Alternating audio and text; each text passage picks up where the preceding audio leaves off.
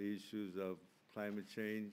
It is very hard to be excited about an independent government uh, seeking prosperity and seeking progress and seeking a good life for their people to be faced with a situation where its very existence is threatened through climate change.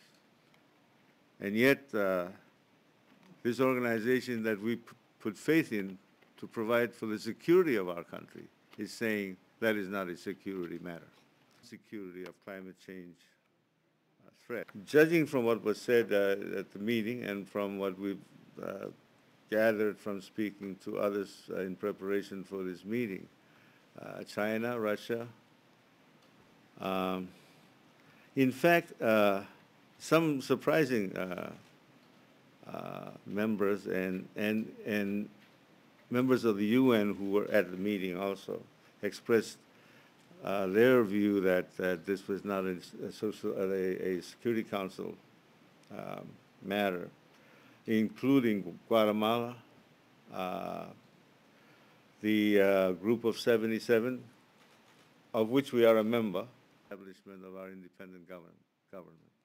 Many of our own friends throughout the world do not realize the urgency of this problem. They do not recognize that it is, it is in fact a threat to our very existence. Uh, already the, the, the, islands are beginning to, to, to, uh, uh, to be so severely affected by uh, rising tides that our roads are inundated every 14 days in keeping with the moon cycle also featured in a, in a video. The whole term climate change negotiations is, is repugnant. Because what are, we, what are we negotiating with the big polluters? I was saying that it, I, am reminded of the old movies where you, somebody would come up behind you and say your money or your life. In this case, they're saying my economy or your life and expect us to choose what? As if there is a choice.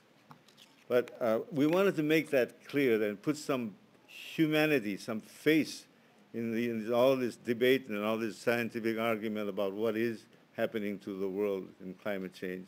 Recognize firsthand uh, this